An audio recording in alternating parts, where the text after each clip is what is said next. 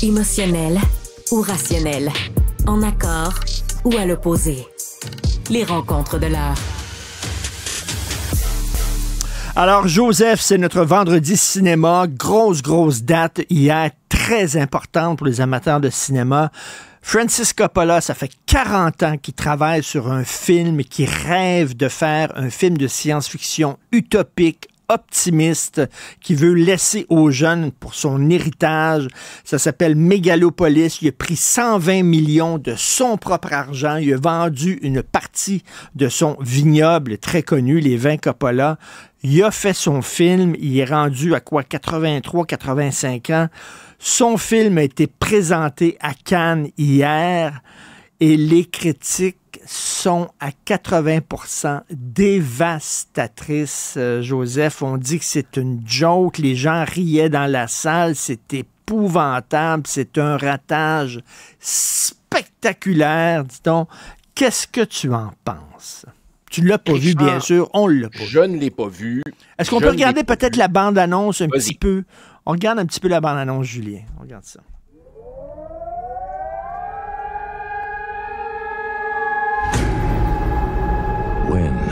Does an empire die? Does it collapse in one terrible moment? No, no. But there comes a time when its people no longer believe in it. Don't let the now destroy the forever.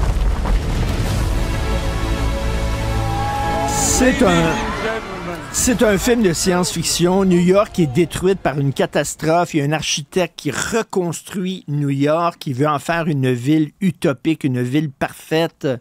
Euh, bon, paraît-il que c'est très mauvais, euh, mais en même temps, Joseph, faut le dire.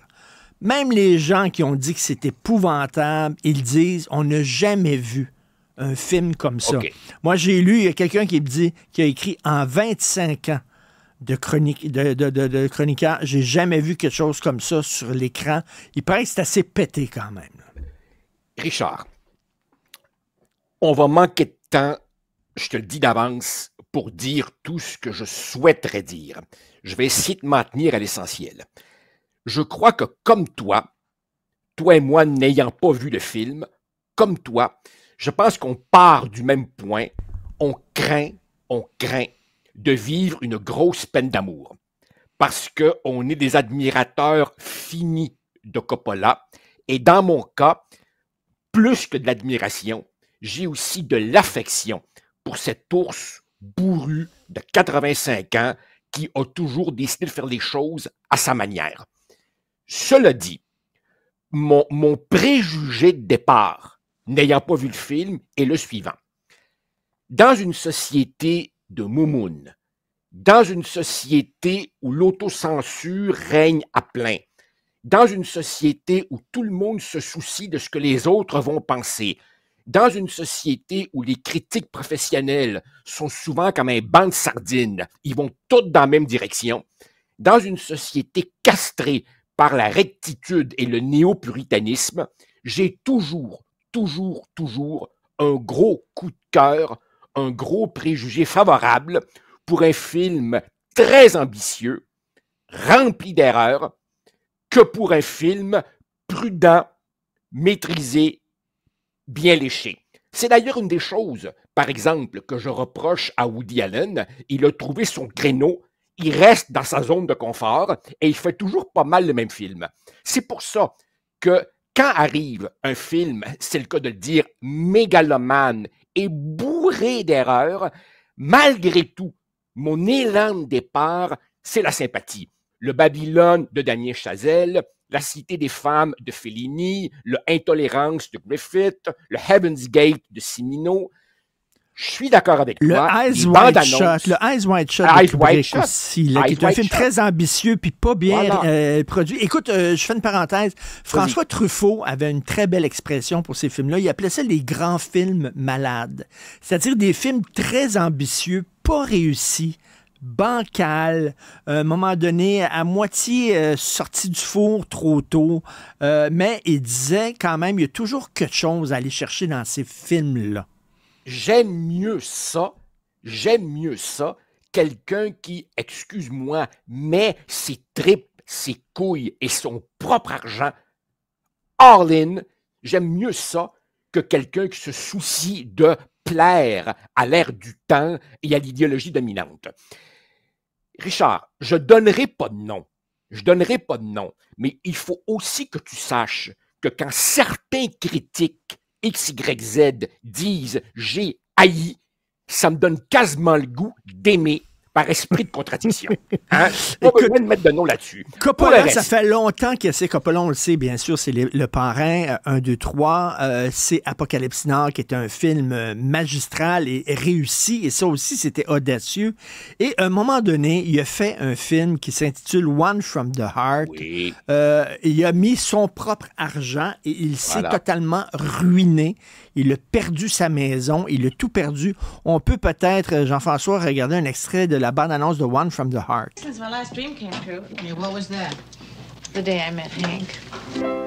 I wish I had a dollar for each time I took a chance. I really love her. I know that. on all those two-bit Romeos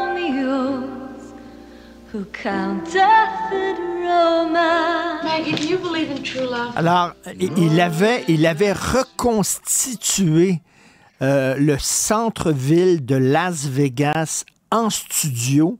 Lui, il était dans une roulotte, il ne sortait jamais de sa roulotte, il n'avait aucun contact avec les comédiens, il y avait des caméras de télévision devant lui, il faisait son montage en direct, euh, et il y avait, écoute, c'était vraiment une expérience très particulière de cinéma.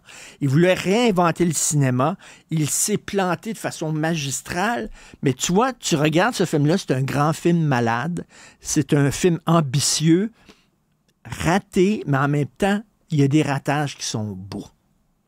Richard, quand tu regardes One from the Heart, on s'entend-tu que on voit maintenant d'où vient La La Land de Damien Chazelle? La parenté est évidente. One from the Heart, c'est un film très années 80, post-disco, néon, kitsch, euh, euh, tout ce que tu veux, mais ça reste merveilleux. Et moi, Richard, oh comme je me méfie, oh comme je me méfie des réactions trop rapides. Souvent, est-ce qu'un film est totalement raté ou est-ce qu'un film est incompris parce qu'il ne rentre pas dans les petites cases habituelles d'une industrie qui veut absolument que tout rentre dans des petites cases. Là. Un exemple dont, je t'ai souvent parlé, sais, Michael Cimino se casse la gueule avec euh, Heaven's Gate. On apprend par la suite que finalement, il y a eu un gros, gros, gros problème au montage et qu'au fond, il a dit au producteur, ben si c'est ça que vous voulez faire de mon film, mettez-vous là où je pense, puis il a claqué- il a claqué la porte. Et des années plus tard, sort un director's cut qui est ce que Cimino avait vraiment voulu faire. Et là, on voit que Heaven's Gate est un film absolument extraordinaire. Évidemment, entre-temps, le pauvre gars a été blacklisté et a été Hmm. obligé de faire des merdes comme Year of the Dragon et puis de Sicilian avec, avec l'épouvantablement mauvais Christophe Lambert. Donc, tu vois, il faut se méfier. des- eh, non, mais, non, mais écoute, Mais- il faut écoute, se écoute, méfier est-ce que des jugements trop rapides. Coppola, après One from the Heart, il a tout perdu. Il a dû justement faire des navets, mais des navets pour gagner sa vie. Et sais-tu qu'à un moment donné, il réalisait la deuxième équipe, il dirigeait la deuxième équipe d'un film d'horreur cheap? Alors, la deuxième équipe, c'est ceux qui font, euh, je sais pas, quelqu'un ouvre la porte, par exemple, ouvre une porte. C'est ceux qui font les, gros plans des mains. C'est ceux qui font les, plans des tasses sur une table, etc., que le réalisateur euh, important n'a pas le temps de faire. Il faisait la deuxième équipe d'un film d'horreur cheap. Il était rendu là, Coppola. Richard, l'in- l'in- l'industrie, l'industrie est impitoyable dans un tout autre contexte.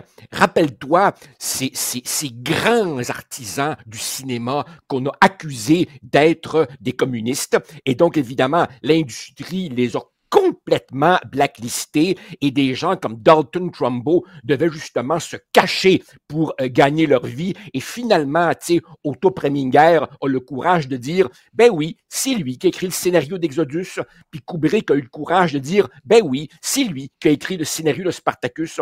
Autrement dit, l'industrie, là, elle te met sur une liste noire, puis t'existes plus. Et malgré ça, malgré ça, t'as du monde qui persévère. Et le gars, écoute, il a 85 ans. Comme tu dis, il met son propre argent. Moi, je te le dis d'avance. Je te le dis d'avance. Les critiques professionnelles habituelles que je ne citerai pas peuvent aller se faire cuire un œuf. moi, je vais aller, moi, je vais aller regarder le Mais- film et je te préviens tout de suite. Je vais prendre deux séances. C'est-à-dire que quand je l'aurai vu une première fois, je sors dehors, je vais à la salle de bain, je reviens et je le regarde de nouveau. Je vais le Mais- regarder au moins deux fois, au moins deux fois, La- et je vais juger moi-même. J'aime bien ça quand tu parlais de peine d'amour. Il est responsable de ma plus grande peine d'amour cinématographique, Coppola. Je me souviens, j'étais avec mes parents, j'étais allé voir Le Parrain 3. Euh, ça commençait à Montréal. J'avais les mains moites. J'avais mon cœur battait. J'étais tellement énervé de revoir ces personnages-là que j'aime d'amour. Et tu sais, quand on dit en anglais Your heart sank, mon cœur, je- je- devant ce film-là qui était mauvais, que je trouvais mauvais, je me suis dit, ah, ça se peut pas qu'il ait fait un- une, une merde comme ça avec le père. Ben, Richard, ben, Richard, déçu. Ben, ben, ben, Richard, je vais te dire une chose. On est, on est quoi? On est en mai de 2024. Regarde de nouveau le parrain 3. Regarde de nouveau le parrain 3. Regarde-le avec, le recul, avec euh, notre maturité de, vieux monsieur qui blanchissons.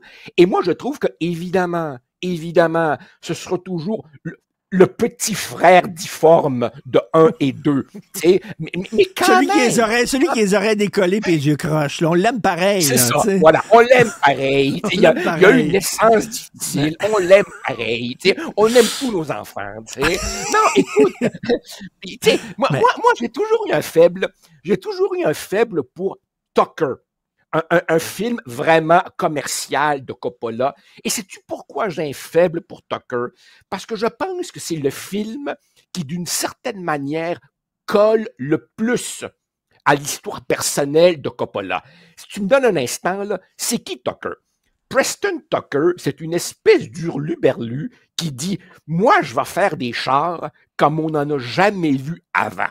On est au lendemain de la Deuxième Guerre mondiale. Et bien entendu, ça déplaît beaucoup à Ford, GM et Chrysler qui décident de le tuer. Et le film se termine avec Jeff Bridges qui fait un magnifique petit discours dans lequel il dit C'est quoi le capitalisme finalement? Est-ce que c'est des quasi-monopoles qui tuent dans l'œuf la concurrence ou est-ce que c'est donner une chance au petit entrepreneur qui, lui, a une idée visionnaire et qui fonce? Quelque part, est-ce que c'est pas ça Coppola face à Hollywood, le gars qui dit pouvez bien penser ce que vous voulez, moi je vais faire mon affaire. Et aujourd'hui, Richard, dans notre société de moumoun, il en reste combien de vrais libres penseurs? Écoute, là, tu, tu me jettes par terre. C'est un monologue digne d'un film. Vraiment. T'as tout dit. T'as tout dit. Alors, écoute, il a mis son argent, il a mis son âme, il a mis ses couilles, il a tout mis dans ce film-là. Euh, je sais pas comment il se sent parce que les gens ont hurlé de rire pendant la représentation alors que c'est pas censé être drôle. On a hâte de voir ça, mais comme tu dis, comme tu dis, vaut mieux un ratage spectaculaire qu'un film trop sage et plate. Richard, rappelle-toi quand Tree of Life de Terrence Malick est sorti, le monde se disait c'est quoi cette affaire-là, tu sais? Calmons-nous. Moi, là, les critiques peuvent bien dire ce qu'ils pensent. Peut-être ont-ils raison. Peut-être Mais- ont-ils raison. Mais je vais aller juger moi-même. Ça s'intitule Voilà. Mégalopolis. On ne sait pas quand on va pouvoir le voir parce que jusqu'à maintenant, Ouais. aucun distributeur l'a acheté. hein. Aucun distributeur. Ouais, Il attendait la réaction à Cannes. La réaction à Cannes n'a pas été bonne. D'après moi, je ne sais pas. On va peut-être le voir en streaming. Je ne sais pas si on va pouvoir le voir en salle. Euh, mais ça dure 2h18 et il paraît qu'on n'a jamais vu un film comme ça. Que t'aimes ou t'aimes pas, ça a l'air que c'est unique, totalement. On va avoir les mains moites quand on va s'asseoir pour regarder ça la première fois. Merci, Joseph. Bon week-end Salut, au cinéma. Salut. plaisir. Bye.